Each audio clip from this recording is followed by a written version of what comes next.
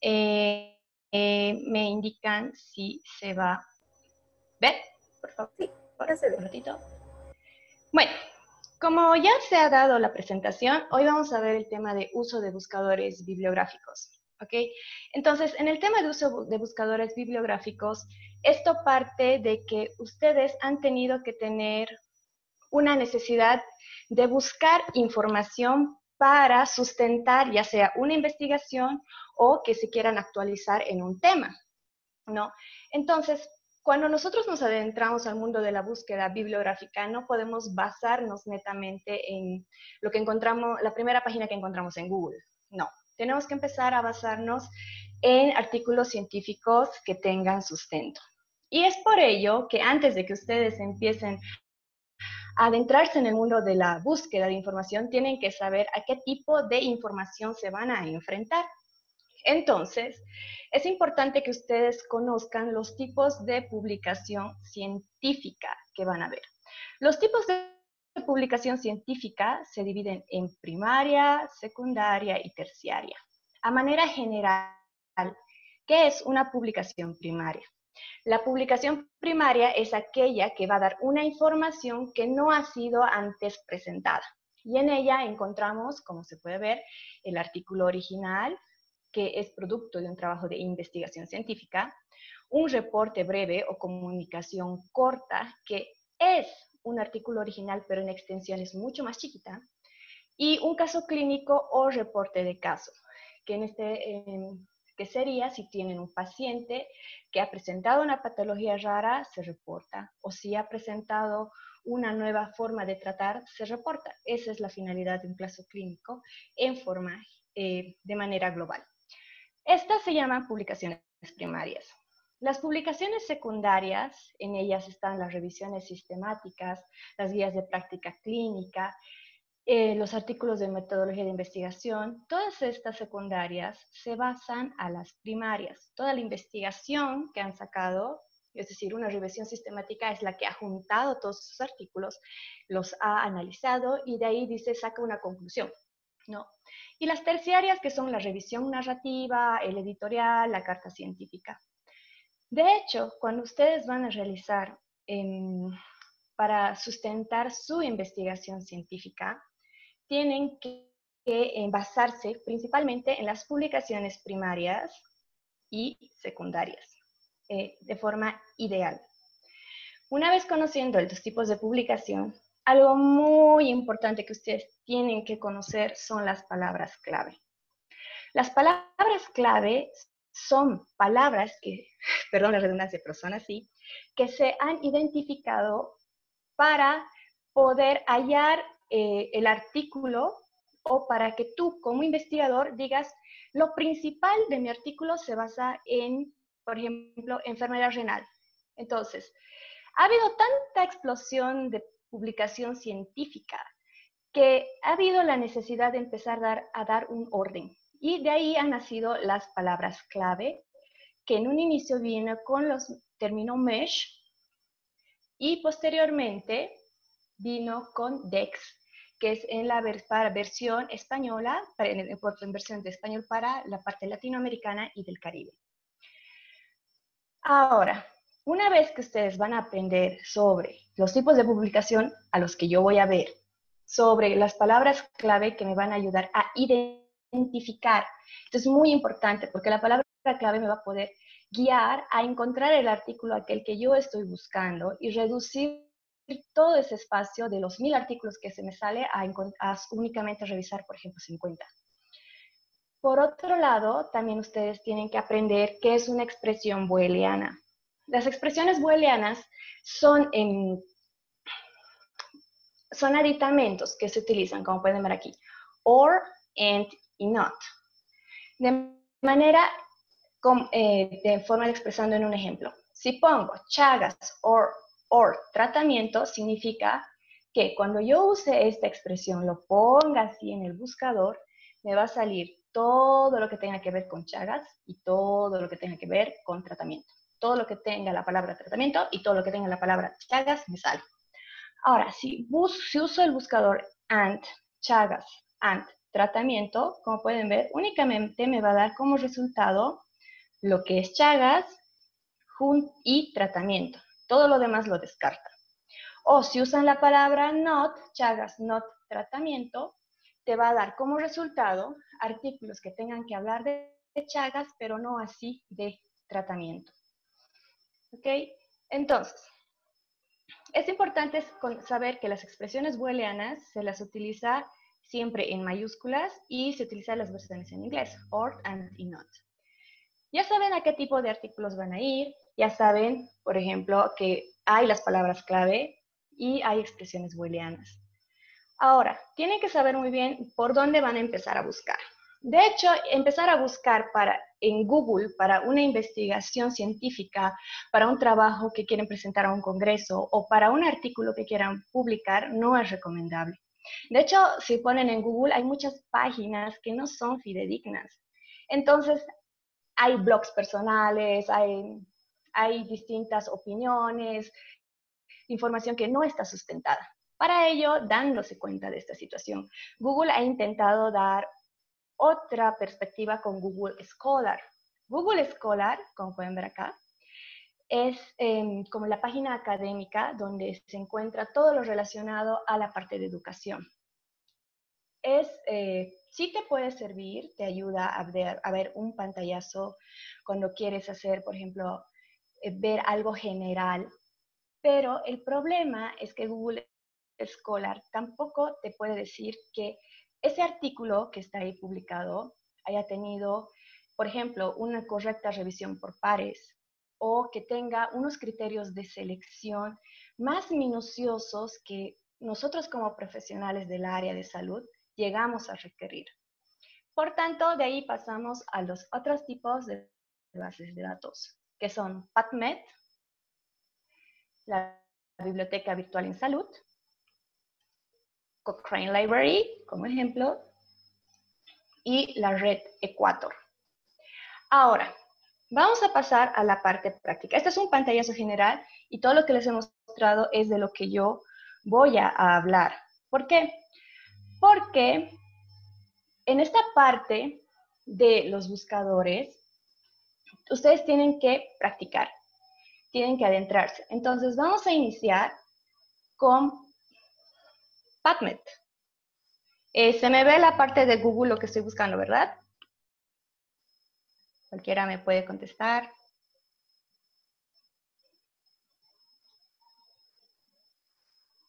Sí, no. A ver, vamos a dejar de compartir. Perfecto. No se ve, muy bien. Venimos aquí, compartir pantalla. Vamos a ver. Listo. Muy bien. Entonces, estamos acá. Bien, tenemos aquí em, lo que son eh, las, mm, la página, vamos a poner PubMed. Si ustedes ponen PubMed, ¿no? Ponen en el buscador, les va a salir, eh, van a ingresar a este, el que está primero, ¿no? Acá, acá dice eh, PubMed, acá, hacen clic. Ahora vamos a adentrar lo que son las palabras clave. Para ser parte de lo que conocer las palabras clave, vamos a ver aquí Mesh, ¿no? Mesh Database, acá, el registro de datos de Mesh. Si ustedes quieren empezar a hacer su investigación científica, entran a Mesh. Acá en Mesh, ustedes van a empezar, por ejemplo, quiero empezar a buscar o ver si esta palabra clave eh, está bien correcta o bien propuesta, ¿no? Pueden buscar, ah, ah, ojo que me estoy olvidando, mesh es todo en inglés. Tienen que poner todo el término en inglés. Y si tienen algún problema con el inglés, es bueno que usen el, Google Traductor para que la encuesta pueda ser correcta, porque si la escriben mal, les va a salir erróneo, ¿no? Por ejemplo, quiero buscar eh, cáncer de próstata, ¿no? Entonces lo escribo. Prostate cancer.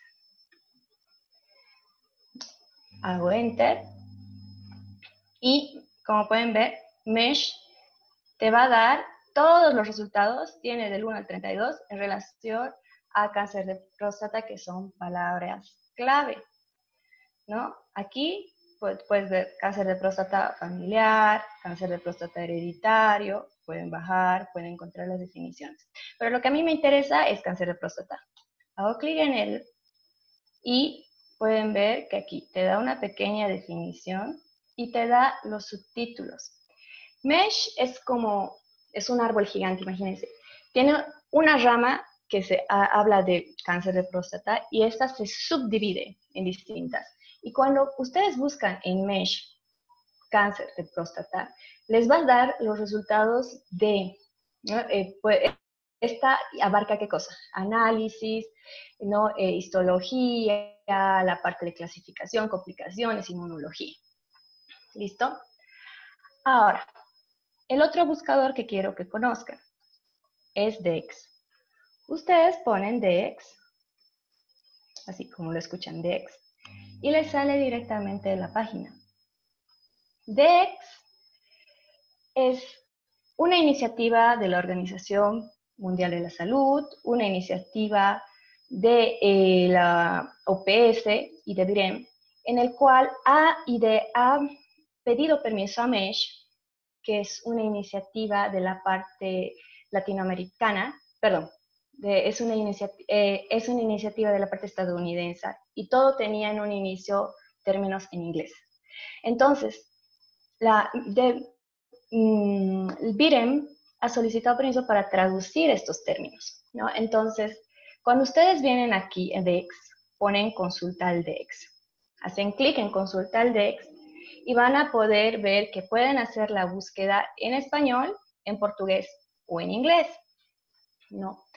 Y para hacer la búsqueda, hacen clic en consulta por palabra o, y pueden marcar palabra o término si es que no están tan seguros de si la palabra es correcta o si ya conocen el descriptor exacto, es decir, la palabra clave precisa, la pueden poner. ¿no? Por ejemplo, puedo poner acá una palabra que quiero buscar, tuberculosis. Quiero saber si esta, así es, así se refiere para la palabra clave. Entonces, tuberculosis, como pueden ver, acá me sale la relacionada, ¿no? Uno te puede, va a dar referencia al agente causal y te da la traducción en inglés, te lo dice en español y te lo dice en portugués. ¿Qué ventaja tiene eso? Que a veces, muchas veces para publicar en un artículo te dicen que las palabras clave en español estén en DEX y las palabras clave en inglés está en mesh. Y muchas veces la palabra clave no tiene la traducción exacta. Por ejemplo, les voy a mostrar. Muerte súbita. Entonces, muerte súbita, nosotras la podemos nosotros lo escribimos en español, pero en inglés, cuando vamos a hacer la búsqueda en Mesh, se pone death, sudden. Entonces, esto ayuda mucho a que si ustedes van a hacer la búsqueda por Mesh, ¿no? Para hacer, luego pasar la búsqueda por PubMed, ustedes puedan ver la forma correcta del descriptor en inglés y poder buscarla acá.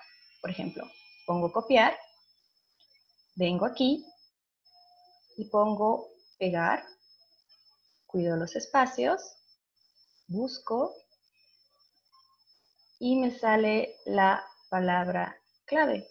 Incluso me da el concepto, me dice que eh, muerte súbita abarca estos distintos subtítulos, pero también aquí abajo van a poder ver toda la ramificación que ha tenido que hacer Mesh a buscar muerte súbita e incluso muerte súbita se subdivide en muerte súbita cardíaca o muerte súbita infantil. Por ejemplo, que ustedes querían muerte súbita infantil, hago clic y me va a salir su definición y los diferentes tipos de subtítulos.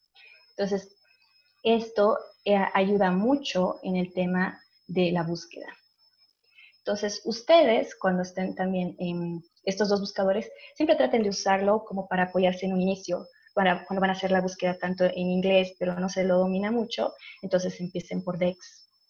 Ahora, si no saben correctamente o quieren ver a qué, a qué lado pertenece o cómo se escribe, o no tienen una idea, o quieren ver simplemente el índice de palabras, las cuales forman parte, por ejemplo, de DEX, ustedes pueden venir aquí a consulta por índice, pueden poner alfabético, marcan índice, y les va a dar la opción de que ustedes, por ejemplo, les dice, selecciona una letra de inicio de abecedario, marcan B, y les va a dar todas las palabras clave con B que van a iniciar. Entonces ustedes también pueden hacer una búsqueda de esa forma, ¿no?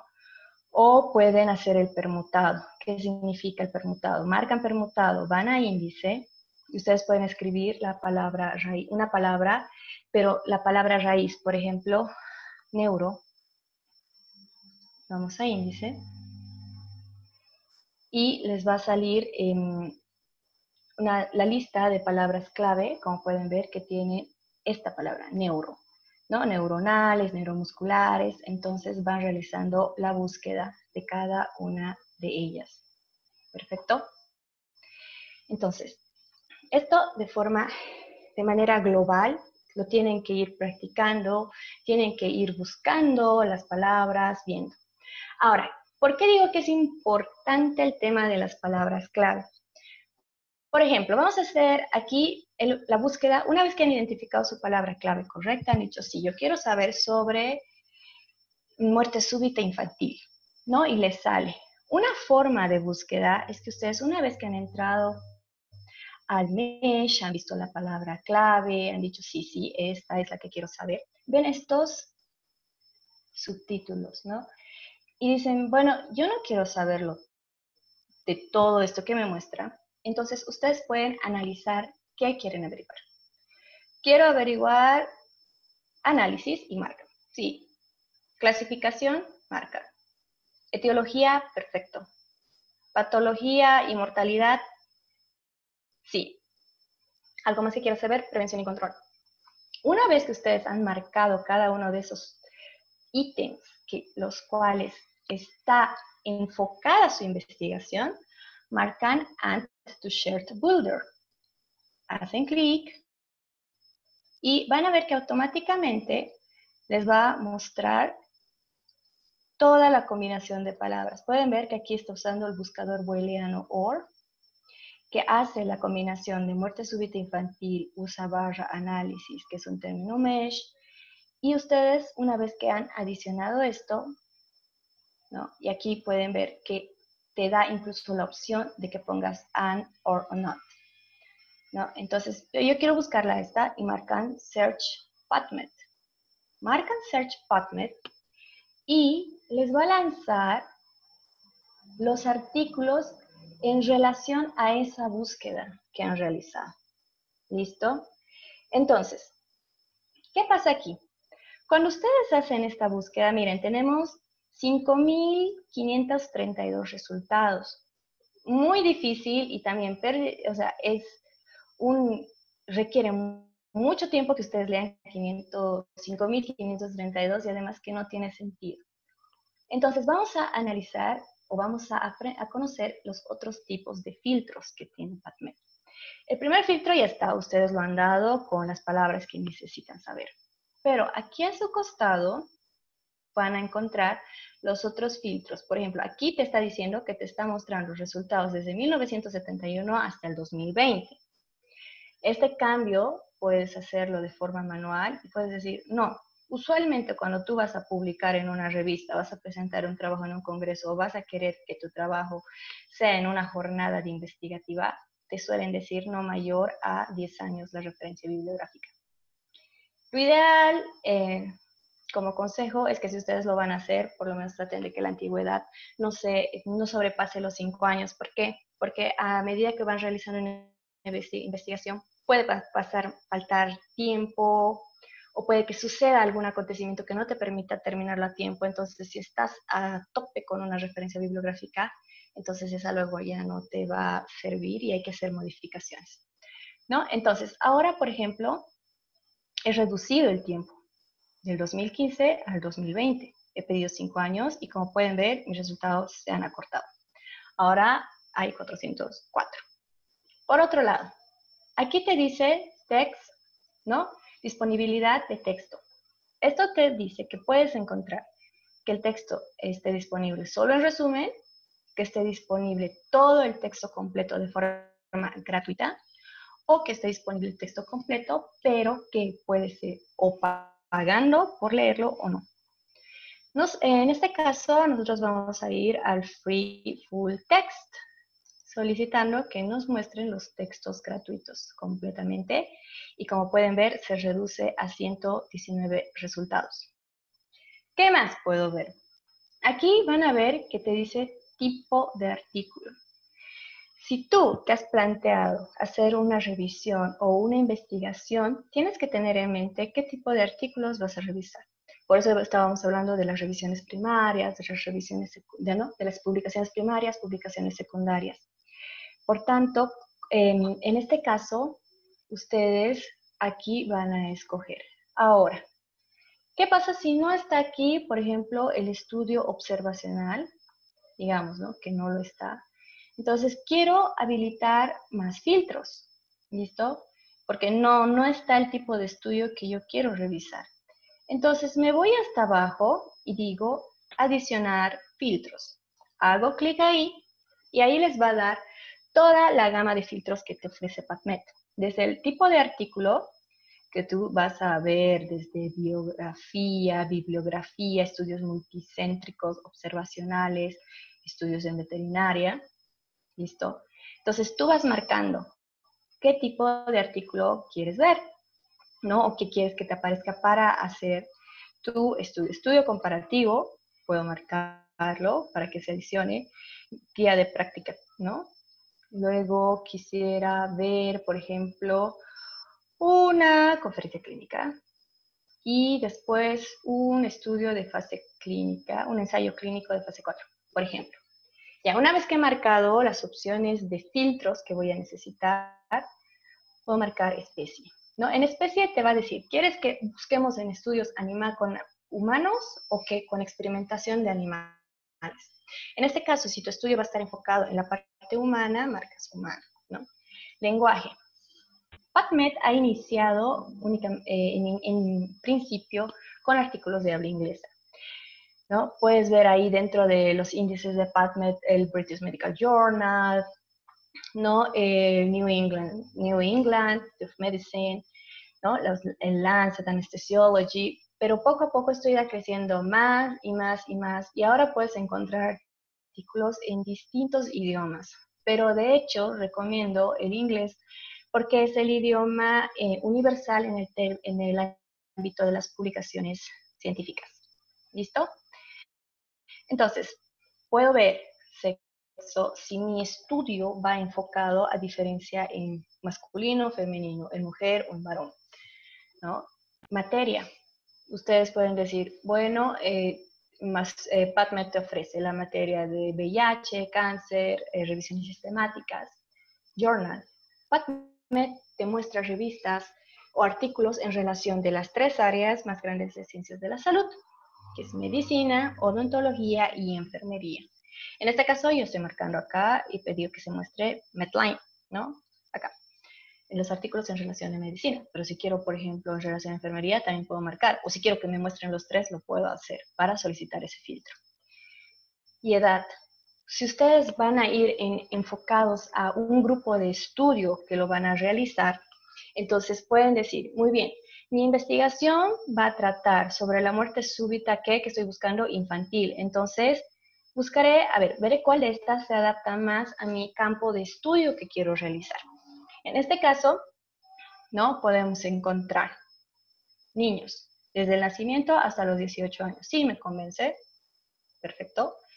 Y una vez que lo tenga esto, pongo mostrar. Y me va a salir aquí los filtros que he solicitado, ¿no? Entonces ya de hecho aquí ya había marcado el free full text. ¿Y qué pasa? Aquí tienes que hacerlo uno por uno. Quiero desde el nacimiento hasta los 18 años. Marco un filtro y ya me va a empezar a aplicar, ¿no? Luego, quiero, y bueno, ya dije que el tiempo de observación, quiero estudios, ¿qué? Estudios observacionales, ¿sí? Quiero estudios observacionales. Y miren, cuando marco estudio observacional con un texto libre. En niños desde el nacimiento hasta los 18 años, con mis términos de búsqueda se reduce a uno. De los mil y artículos que habíamos empezado viendo, aplicando los filtros acorde a su investigación científica, vamos a uno, ¿no? Y como pueden ver, acá nos muestra el artículo y te muestra el resumen, las palabras clave. Ahora, hemos pedido que sea free full text, ¿no? Estos son los links de acceso. Hay que tener cuidado, algunos links, a pesar de que diga el free full text, eh, cuando son dos, a veces uno de ellos te quiere cobrar por leer el texto. Entonces siempre es bueno revisar los dos links que te muestra. Vamos a empezar con el primero. Entonces quiero ver el artículo completo. Y acá tenemos. Por ejemplo, acá me dice que tengo que pagar por este artículo, es lo que les estaba diciendo. O puedo ver este otro. Entonces me voy a la segunda opción porque quiero ver a detalle este artículo y puedo ver un poquito más de él. ¿No? Entonces, vamos a hacer otra búsqueda, otra forma de buscar en PubMed. ¿Listo?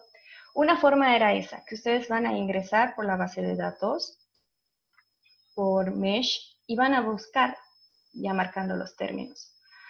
Ahora, otra forma de búsqueda es a través del método Advanced. ¿Listo?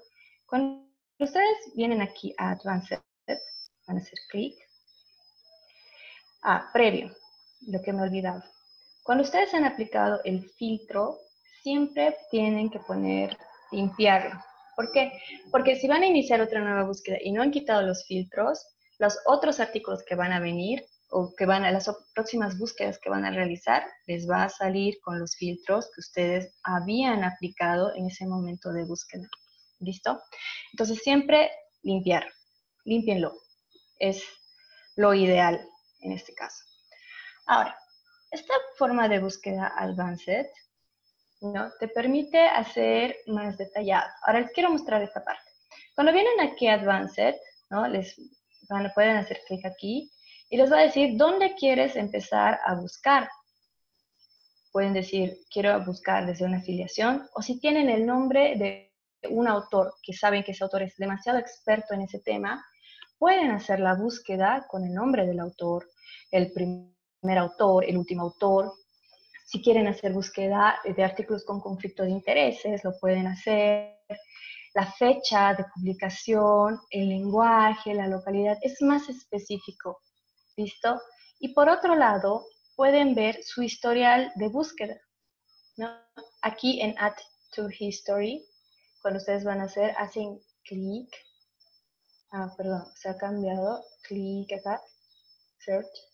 Entonces, les van a mostrar todo lo que ustedes han buscado y esto es favorable porque si ustedes han hecho una búsqueda y luego quieren volver a ver ese, ese resultado de búsqueda. Por ejemplo, aquí yo había aplicado ¿no? un filtro, entonces, ¿cómo era? Pueden volver a hacer clic, abrir el enlace en la nueva pestaña y les va a derivar a esa búsqueda. Entonces, ese historial se va guardando cada vez que ustedes van ingresando.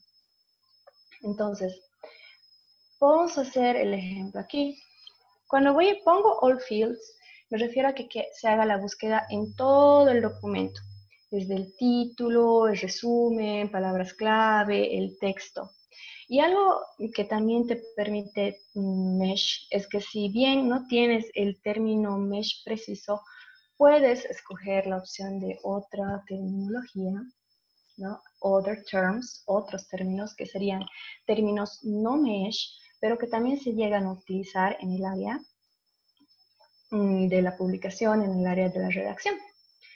Por ejemplo, vamos a poner all fields, ¿no?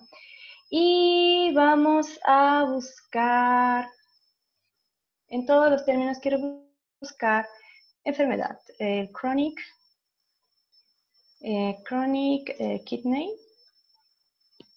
disease, enfermedad crónica. Y pongo add.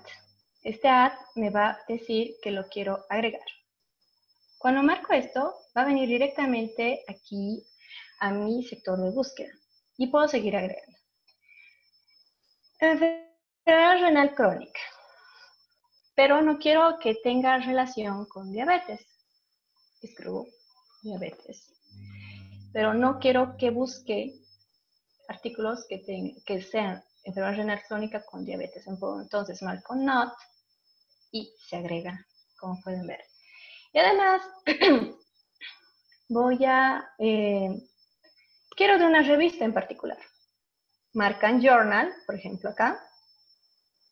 Y quiero buscar en la revista, en el New, The New England, eh, ah. Pueden ver, aquí tiene un buscador desplegable. Apenas ustedes lo están mm, escribiendo, ya sale.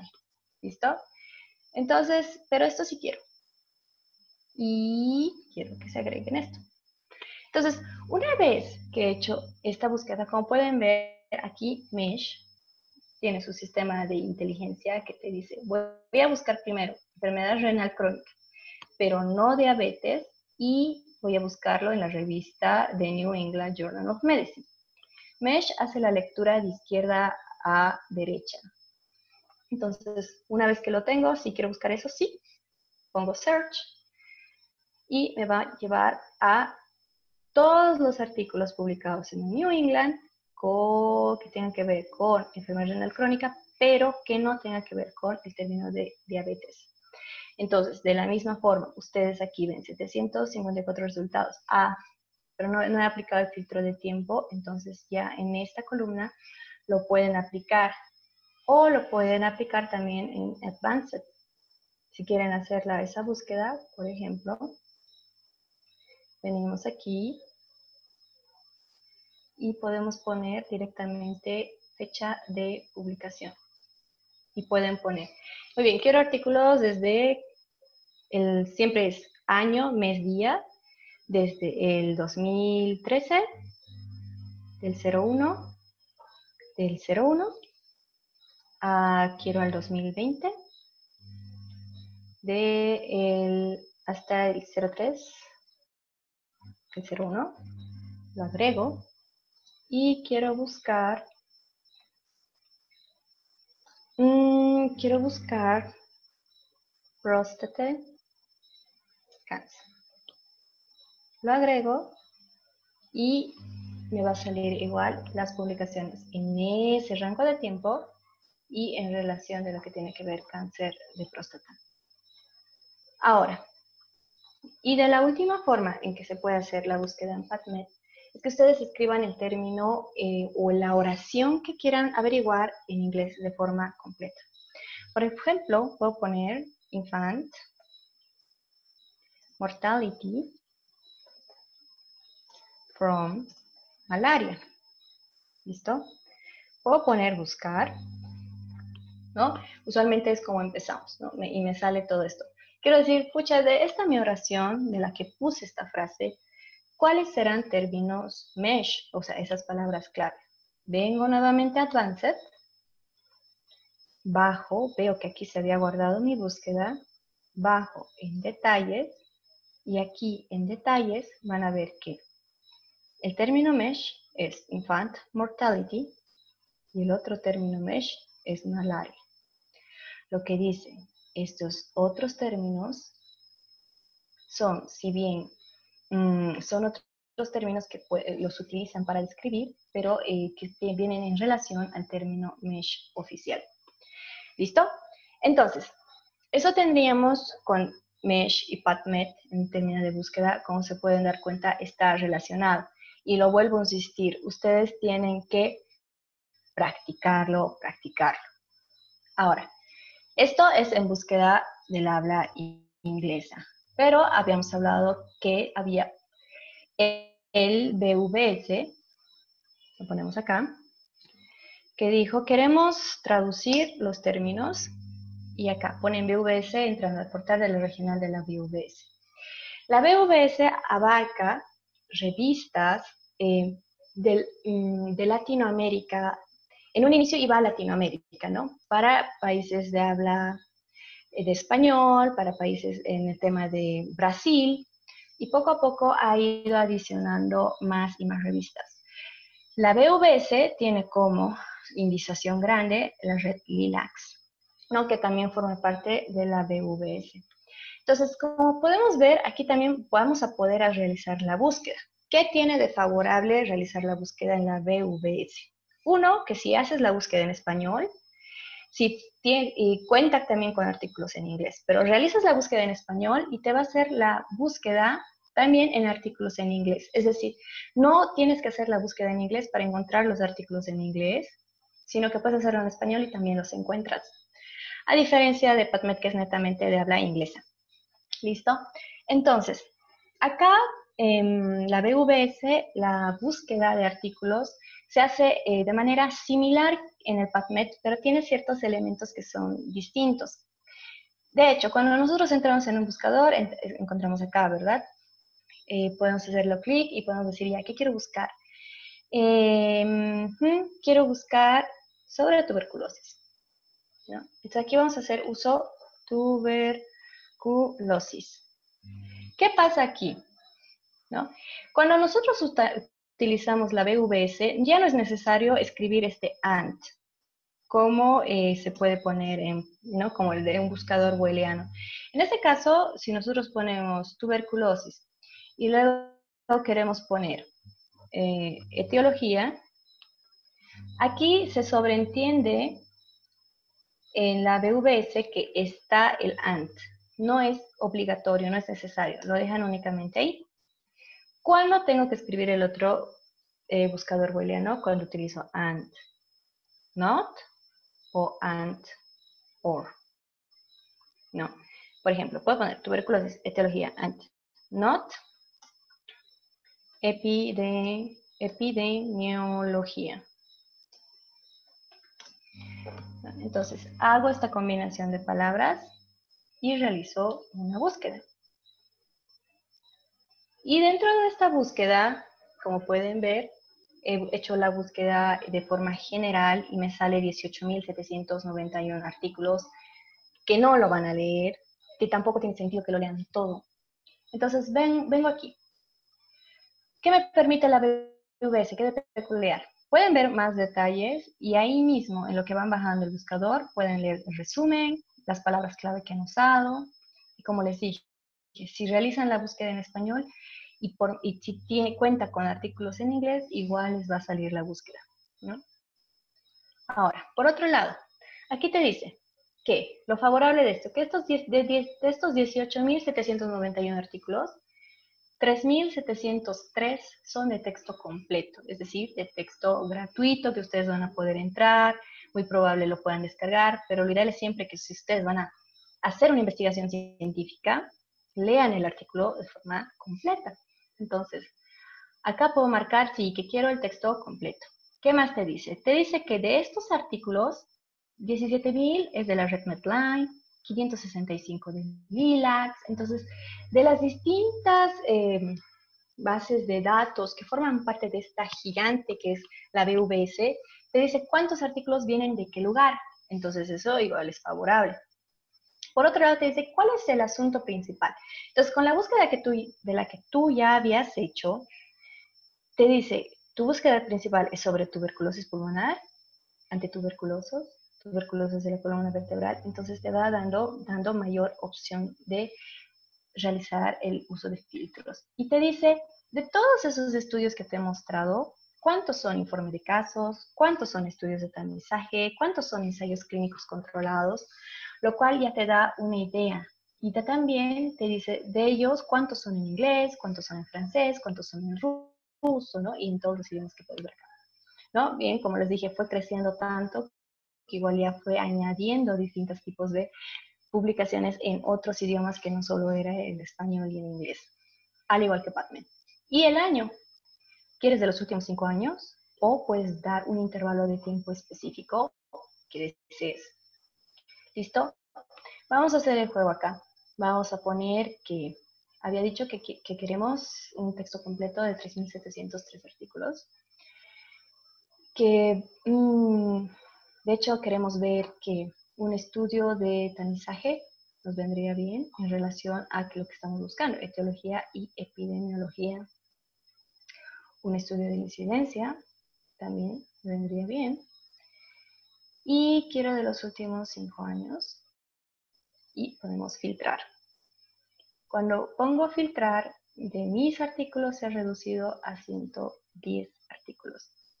¿no? Y aquí te salen los filtros que has utilizado, desde el texto completo, el tipo de estudio y el tiempo que lo habías utilizado. Ahora mira, de estos artículos, de estos 110, 107 son de Medline y 3 de Lilacs.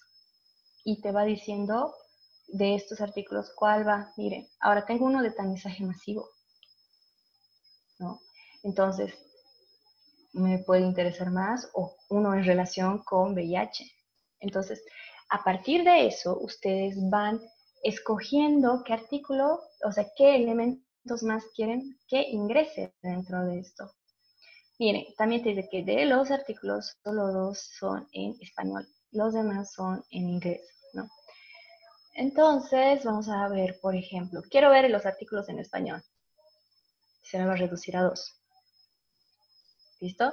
Entonces, acá tenemos tuberculosis peritoneal, tuberculosis abdominal, de lo que voy buscando. Y, por ejemplo, si hago el clic en el artículo, no, les muestra el artículo, les muestra la introducción, resumen las palabras clave que han utilizado para la realización del artículo y pueden marcar texto completo, aquí arriba.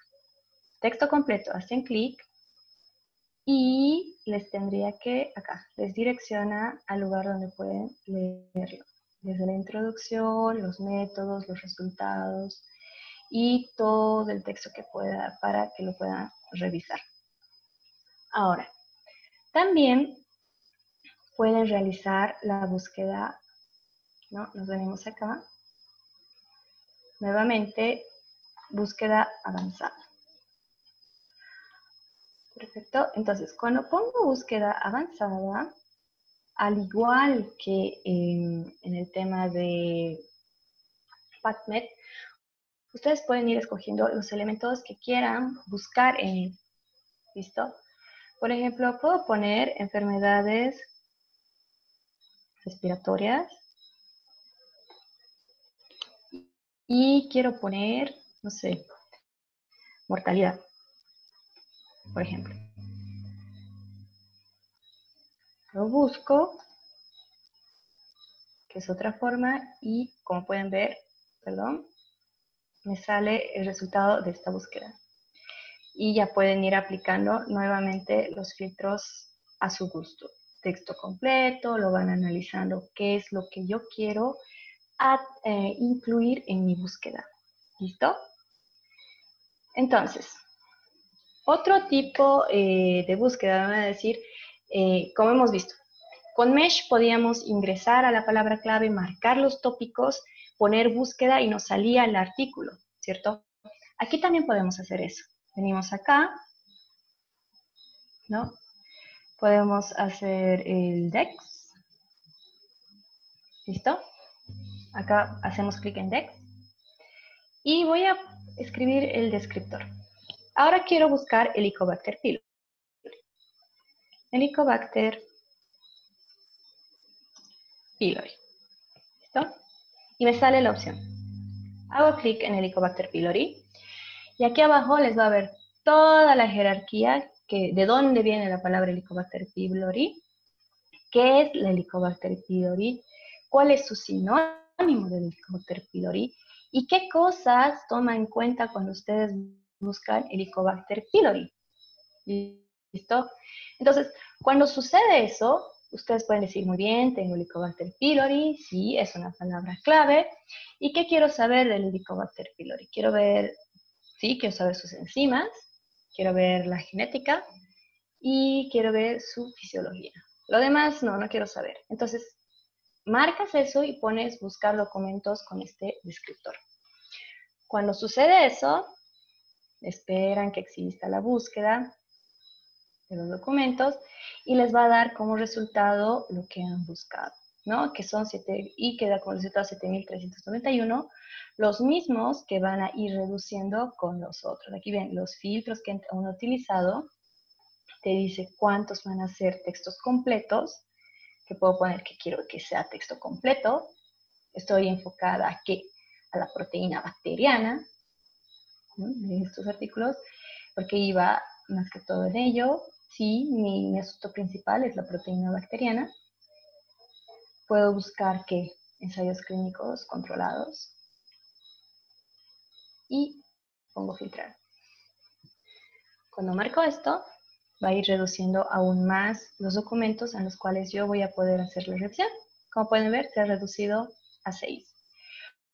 Por ello, importante que ustedes cuando van a realizar la búsqueda de estos distintos tipos de eh, bases en recursos bibliográficos sepan a detalle qué van a buscar. Uno en palabra clave, otro en qué tiempo lo van a hacer. ¿Listo? Por ejemplo, tengo acá, quiero ingresar a este estudio y me sale las opciones de, ese texto completo disponible, que está en la base de datos Medline, te da el tipo de estudio, en qué idioma, qué revista lo ha publicado, qué año, el 2019. Si voy a texto completo, me va a dar la opción de mostrarme el artículo y en muchas ocasiones puede darte la opción de descargar. ¿Listo?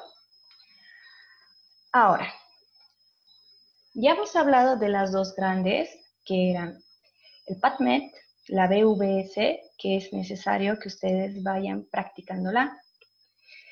Otro elemento que también les quiero hablar es de la red Cochrane. ¿Listo? Cochrane Library. Cochrane Library, más que todo, eh, esta se caracteriza porque realiza revisiones sistemáticas para dar respuesta en lo que refiere al uso em, de terapéuticas nuevas, es decir, esta mira junta todas, hace revisión sistemática, es decir, junta todos los artículos originales de, ah, de ese tema y te dice, es bueno utilizar, por ejemplo, el diclofenaco en crisis agudas de artritis. Entonces, busca todo el equipo Cochrane, busca todos los artículos que tengan que ver con artritis y diclofenaco para ver si es efectivo y te dice, sí, no o no es concluyente, realiza una revisión. Entonces, esto nos ayuda mucho cuando nosotros vamos a tomar una decisión de terapéutica o si queremos mayor información respecto a ello. Entonces, como hemos visto, ustedes ponen en el buscador Cochrane, ¿listo? Cochrane Library, y vienen acá, Cochrane Reviews. Marcan, ingresan, y les aparece cerramos esto, desaparece la búsqueda. ¿Listo? Al igual que los anteriores buscadores, ustedes pueden hacer la búsqueda desde las palabras, eh, buscarlo en el título, en el resumen, en las palabras clave, solo en el resumen, puedes buscar un autor o solo la palabra clave, o en todo el texto, según el tipo de publicación.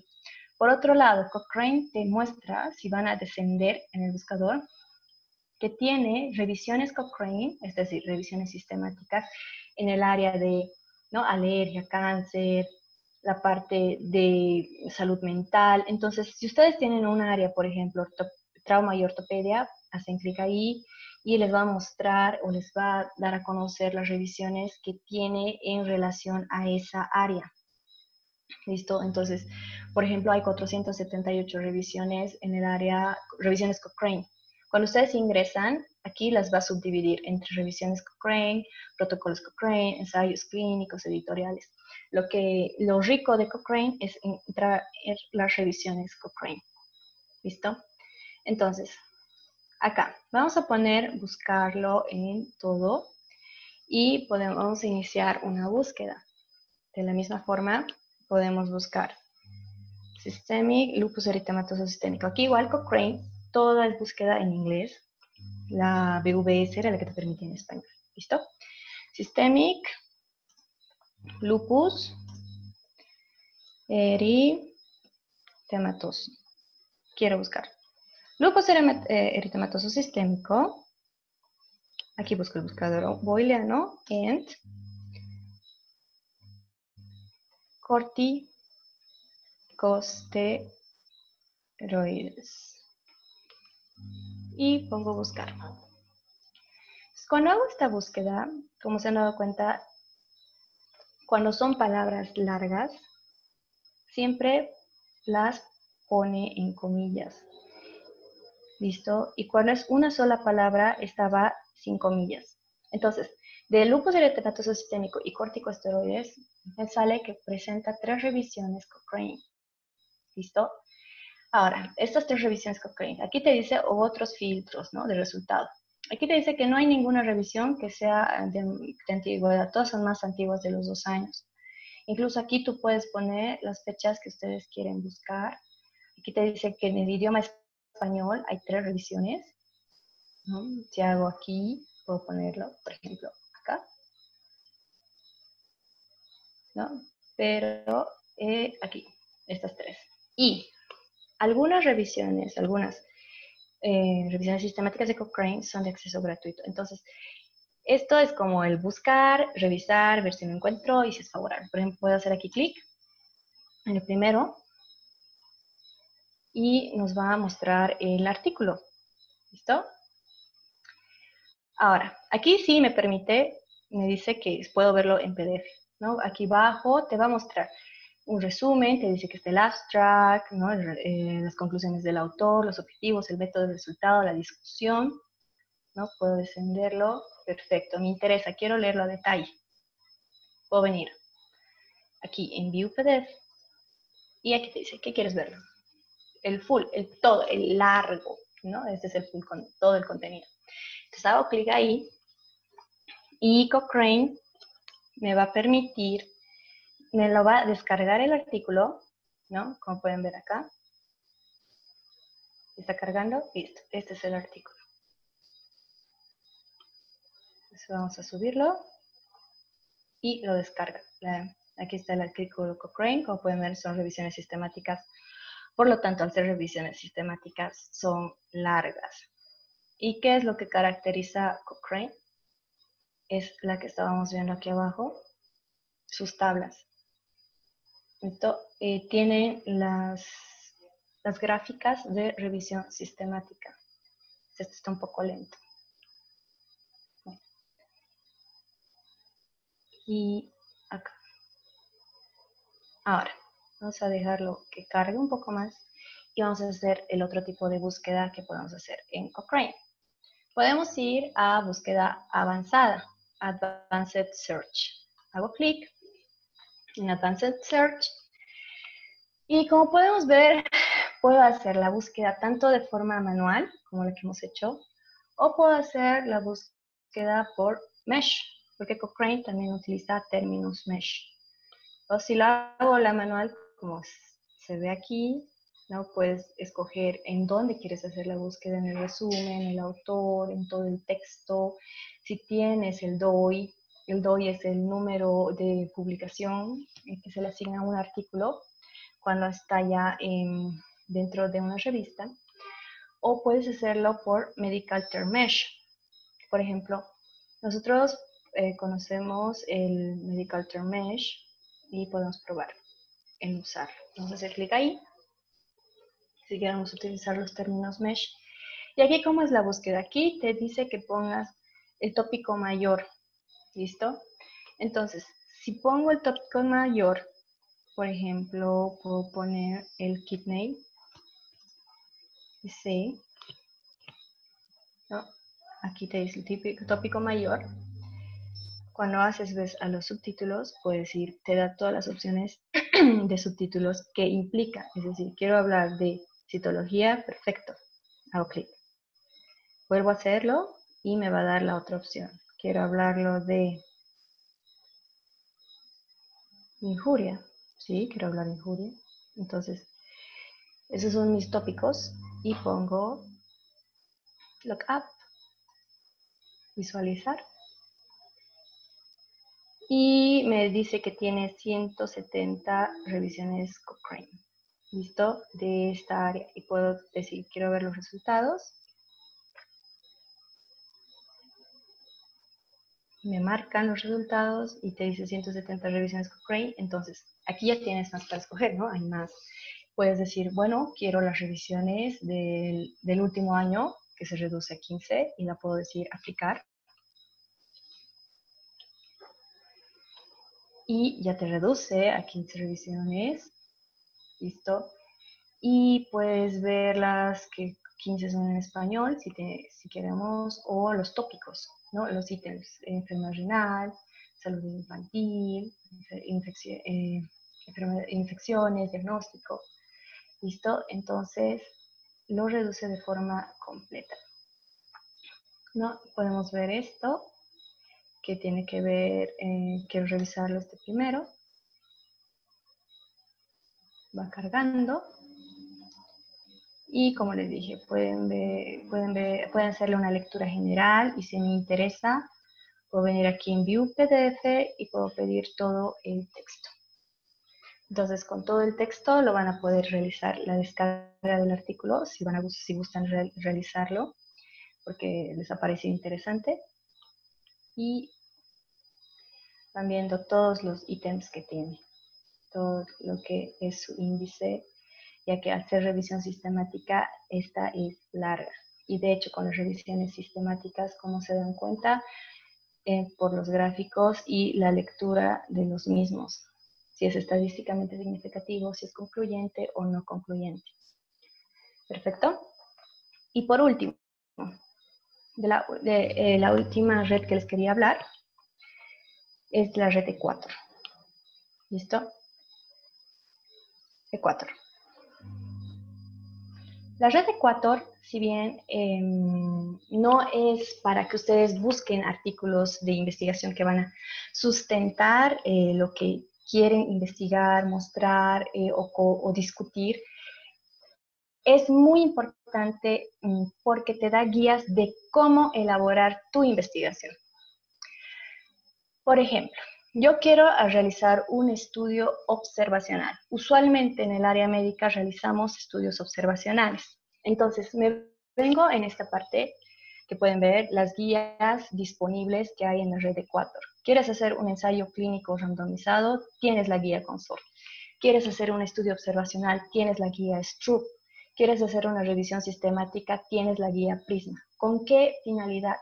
De mejorar la calidad de la investigación y de qué se publica. ¿Listo? Por ejemplo, quiero el estudio observacional Stroop. Hago clic y me va a salir la guía de búsqueda de la guía de estudios observacionales en epidemiología Stroop.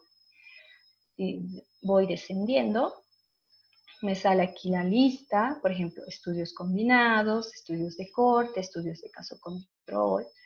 Y puedo ver también que acá hay las opciones, tengo que buscar. No todas las guías van a estar en español, ¿listo?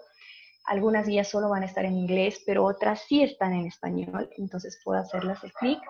Por ejemplo, acá hay sí la, la posibilidad de verlo en español y puedo ver la guía, ¿no? En la declaración de Stroop, que si lo vamos descendiendo, lo vamos leyendo, acá te dice que un artículo, perdón, un estudio de publicación observacional, el título, te dice qué tiene que tener el título. La introducción, qué tiene que tener la introducción, los métodos, qué elementos tiene que tener el método, los resultados, qué cosas tienes que ver en los resultados, la discusión, etcétera. ¿Listo? Entonces, ustedes, acorde al estudio que quieren realizar, eh, van buscando, por ejemplo, para hacer caso clínico, hay una guía, la guía CARE, ¿listo? O para hacer un estudio preclínico en animales, también hay la guía. Ahora, ¿qué más? Si ustedes hacen clic en una de estas, en cualquiera, pueden hacerlo clic aquí, aquí, aquí, te sale, te manda a este enlace donde puedes ver más específico. Aquí en área clínica puedes decir, a ver, el área de cardiovascular, ¿no? Medicina cardiovascular, te dice que hay una guía de medicina cardiovascular. Entonces, ¿para qué es esta área? En esta área eh, ves los tipos de publicaciones, por ejemplo, en anestesia, en dermatología, que sirven de base de guía, como que es un poco más orientado a esa área, ¿no? A esa especialidad. Pero de forma general, siempre utilizar este tipo de guías.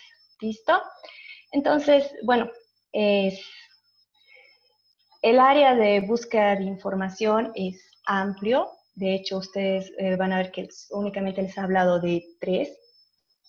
Pueden encontrar otras, ese cielo, el, Redalix, pueden entrar a Hinari, incluso ingresando a los recursos de la Universidad Mayor de San Simón en DICIT van a poder ver que tiene acceso a ciertas revistas.